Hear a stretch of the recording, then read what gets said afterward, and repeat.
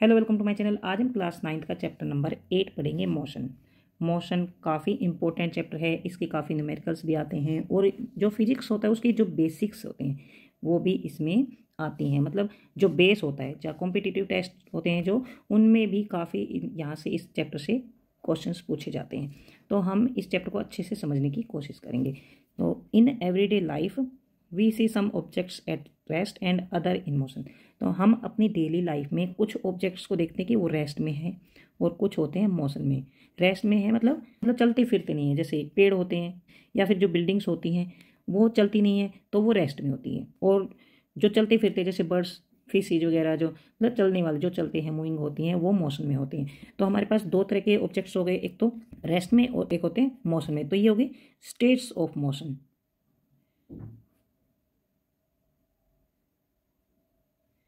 दो states of motion होगी तो जो जो रेस्ट में होते हैं, उनको बोलते हैं स्टेशनरी स्टेशनरी हो गए और जो मोशन में रहते हैं, उनको बोलते हैं मूविंग तो स्टेशनरी जो हो गए, एक तो पेड़ हो गए, या फिर बिल्डिंग्स हो गई, मकान हो गए, ये तो होते हैं स्टेशनरी और मूविंग मतलब जो चीज़ें चलती फिरती हैं, गाड़ियाँ चलती फिरती हैं एटम्स मॉलिक्यूल्स या पंखा चलता है, या फिर हम चलते फिरते हैं एनिमल्स चलते हैं, ये सभी मूविंग होती हैं। तो ये स्टेट्स ऑफ़ मोशन होगी दो स्टेशनरी एंड मूविंग जो मूविंग है वो है जैसे बर्ड्स फ्लाई करती हैं फिर से चलती हैं ब्लड हमारे वेंस में और आर्टरीज में सिराओं में, धमनियों में फ्लो करती हैं. कार्स मूव करती हैं atoms molecules planet stars galaxies ये सभी मोशन में होती हैं. और इन सभी चीज़ों को देखकर, इन सभी को देखकर हम ये समझते हैं कि कोई भी ऑब्जेक्ट मोशन में कब है, जब उसकी पोजीशन चेंज होती है। तो टाइम के हिसाब से अगर उसकी पोजीशन चेंज होती है तो हम ये समझते हैं कि वो ऑब्जेक्ट मोशन में होता है। जैसे कि मान लो कोई ऑब्जेक्ट ए पर है, और मान लो यहाँ पर पाँच बजे वो ए पर है। थोड़ी देर में मतलब एक घंटे में वो यहाँ बी पर आ गया है। तो इसका मतलब ये इसकी पोजीशन चेंज हुई मतलब इसकी जगह चेंज हुई है। पाँच बजे यहाँ यहाँ पर था, और छः बजे यहाँ पर आ गया है। तो एक घंटे में उसकी पोजीशन चेंज हुई मतलब जगह चेंज हुई। तो इसका मतलब वह ऑब्जेक्ट मोशन में है। टाइम के हिसाब से अगर उसकी पोजीशन चेंज होती है तो इसका मतलब वह मोशन में है। लेकिन ऐसी सिचुएशन भी आती है जब हमें कभी वो चीज़ दिखाई नहीं देती। कुछ चीज़ें ऐसी होती हैं मूव तो करती हैं, हिलती डुलती हैं, चलती फिरती, लेकिन वो हमें दिखाई नहीं देती। अब ऐसी क्या चीज़ें होती हैं? जैसे कि जो हवा होती है, हवा चलती है, हमें दिखती नहीं है। तो उसका कैसे पता लगाएँगे कि वो चीज़ मोशन में है या फिर रेस्ट में? तो अगर मैं आपसे पूछती हूँ कि हवा चलती है तो आपको कैसे पता लगेगा कि वो चल रही है या फिर रेस्ट में है? तो आप बताएँगे कि पत्तियाँ हिलती हैं या फिर रेत उड़ती है या कोई कपड़ा उड़ता है या कपड़ा हिलता हुआ दिखाई देता है या फिर कागज़ उड़ते हैं, पॉलीथीन उड़ती हैं, बहुत सारी ऐसी चीज़ें होती हैं जिनको देख कर ये हम अंदाज़ा लगाते हैं कि हवा चलती है मतलब हवा मोशन में है।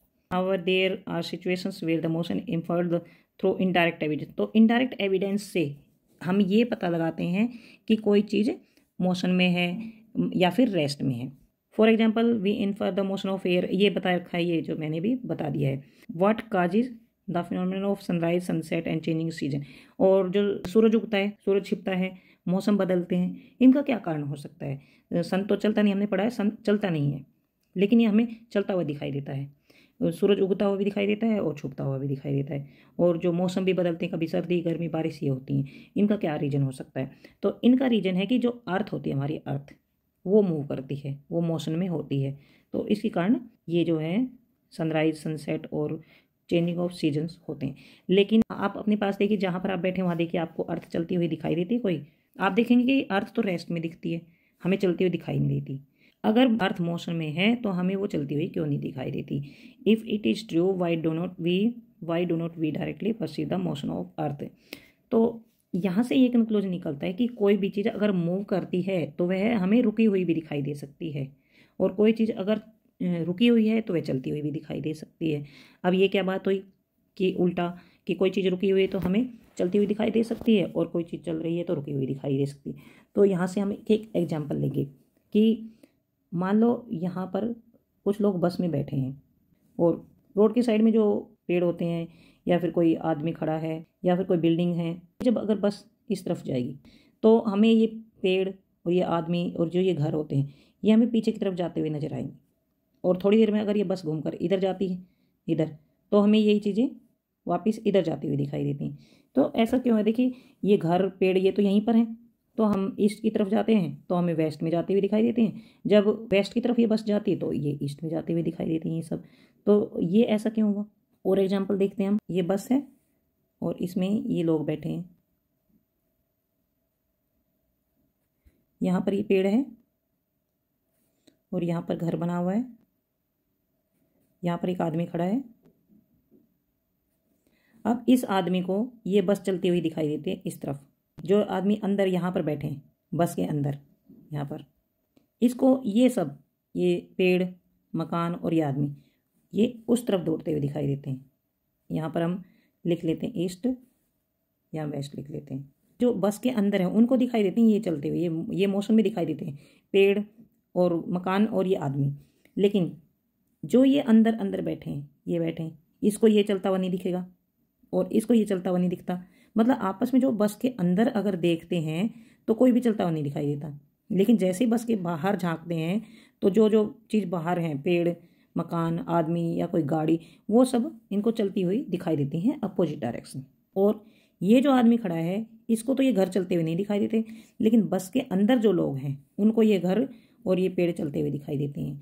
तो यहाँ देखिए, इस आदमी को मतलब बाहर जो खड़ा है उस आदमी को जो बाहर के पेड़ मकान चलते हुए नहीं दिखाई देते और जो ये बस के अंदर बैठे उनको ये चलते हुए दिखाई देते हैं। लेकिन बस के अंदर के लोग, बाहर जो आदमी खड़ा है, उसको तो चलते हुए दिखाई देते हैं, लेकिन अंदर के लोग, अंदर वालों को चलते हुए दिखाई नहीं देते। तो ये तो बड़ी समस्या हो गई है कि भाई ये कैसे हो सकता है? किसी को तो चलते हुए दिखाई देते हैं, किसी को नहीं दिखाई देते बाहर वालों को अंदर वाले चलते हुए दिखाई देते हैं, अंदर वालों को बाहर वाले चलते हुए दिखाई देते हैं। लेकिन बाहर वालों को बाहर वाले चलते नहीं दिखाई देते और जो बस के अंदर हैं, उनको बस के अंदर वाले चलते हुए नहीं दिखाई देते।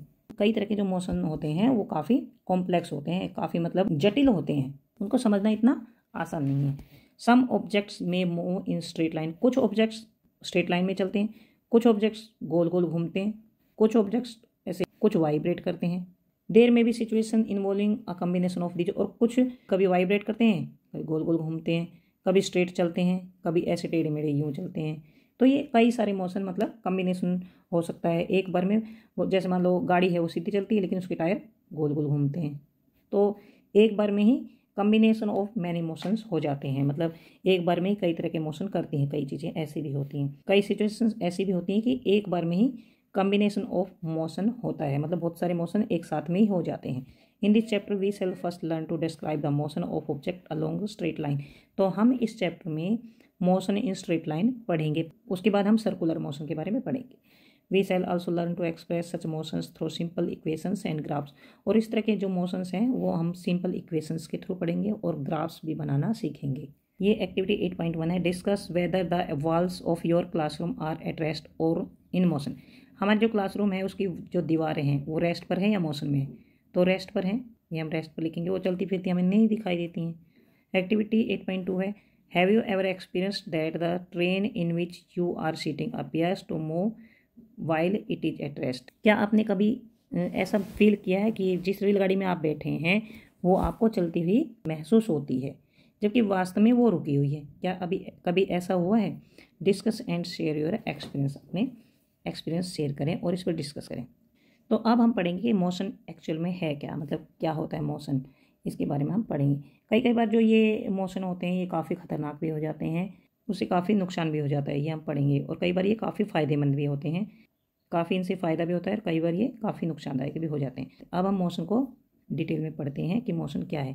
We describe the motion of an object by specifying a reference point सबसे पहले मोशन को समझने के लिए हम सबसे पहले उसके रेफरेंस पॉइंट को समझेंगे कि रेफरेंस पॉइंट क्या होता है। तो सबसे पहले मोशन को समझने के लिए हमें एक तो रेफरेंस पॉइंट समझने की ज़रूरत पड़ेगी।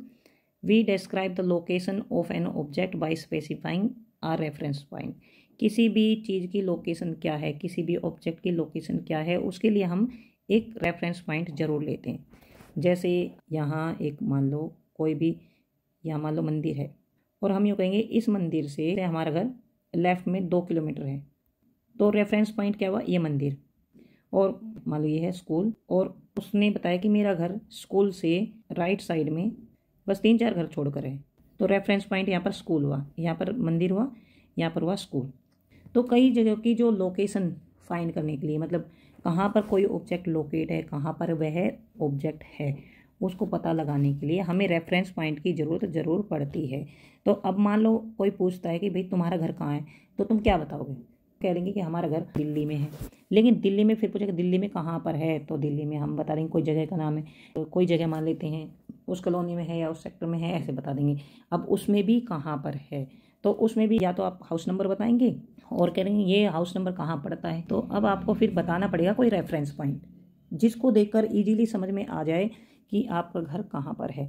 मान लो आपके घर के नज़दीक कोई पेट्रोल पंप है, आप उसको बताओगे कि पेट्रोल पंप है, पेट्रोल पंप के सामने एक गली पड़ती है और उस गली में आप लेफ़्ट में मुड़ जाइए तो वहाँ पर जो चौथा घर है वो है। तो देखिए इसका रेफरेंस पॉइंट क्या हुआ? Petrol pump. तो रेफरेंस पॉइंट आपको समझ आ गया होगा कि कोई भी जगह जहाँ से किसी भी ऑब्जेक्ट की लोकेशन इजीली बताई जा सके, उसको रेफरेंस पॉइंट बोलेंगे। कई बार हम कहते हैं कि हमारा घर रेलवे स्टेशन से दो किलोमीटर दूर है। कई बार हम कहते हैं कि हमारा घर हॉस्पिटल की पीछे की तरफ़ है। तो ये सब जो railway station hospital petrol pump school मंदिर, जो भी कुछ आपने बताया तो या फिर कोई फ़ेमस किसी किसी का घर भी फ़ेमस हो सकता है तो वो भी बता सकते हैं कि जैसे कि वकील का घर है वहाँ पर, उसके सामने है, या उससे तीन चार घर छोड़ कर या फिर शर्मा जी का घर है। तो ऐसे जो भी आप बताएँगे किसी को लोकेशन बताने के लिए, जिसका भी रेफरेंस देंगे, उसको बोलते हैं reference point let us understand this by an example let us that a school in village is two kilometre north of the railway station कि कोई भी स्कूल किसी गाँव में एक स्कूल है और वो रेलवे स्टेशन से दो किलोमीटर नॉर्थ में है। We have specified the position of school with respect to the railway station तो हमने देखिए यहाँ पर रेलवे स्टेशन से दो किलोमीटर नॉर्थ में है। क्या लिया reference point railway station railway station से स्कूल जो है वो दो किलोमीटर है। तो यहाँ पर रेफरेंस पॉइंट आ गया railway station in this example the railway station is the reference point we could have also chosen other reference points according to our convenience हम और भी रेफरेंस पॉइंट ले सकते हैं हमारी सुविधा के अनुसार। ये ज़रूरी नहीं है कि एक रेफरेंस पॉइंट एक को यूज़ करता है तो उस, उसी को हम यूज़ करें। ज़रूरी नहीं है। Therefore to describe the position of object we need to specify reference point called the origin और इसको हम ओरिजिन कहते हैं रेफरेंस पॉइंट को। अब देखिए ये यहाँ पर। एक रेफरेंस पॉइंट दूसरे के लिए भी वही रेफरेंस पॉइंट हो ये ज़रूरी नहीं है। एक एग्जांपल है कि जैसे ही मान लीजिए ये रेलवे स्टेशन है। थोड़ी सी दूर यहाँ पर कोई शॉप है। और एक अगर यहाँ पर है तो ये जो है ए ये भी बोल सकता है कि मेरा घर रेलवे स्टेशन से एक किलोमीटर साउथ में और इसका भाई, मान लो ए का भाई बी है बी वो अपने दोस्त को घर बताएगा तो वो यूँ कहेगा कि मेरा घर एक शॉप है, जैसे इसका नाम मान लो हम ले लेंगे, स्टील शॉप ले लेते हैं। एक स्टील शॉप है, उसके नॉर्थ में एक किलोमीटर है, या फिर दो किलोमीटर है। घर तो इनका यही हो, ये बी का घर है और ये ए का घर है, लेकिन है घर दोनों का एक ही।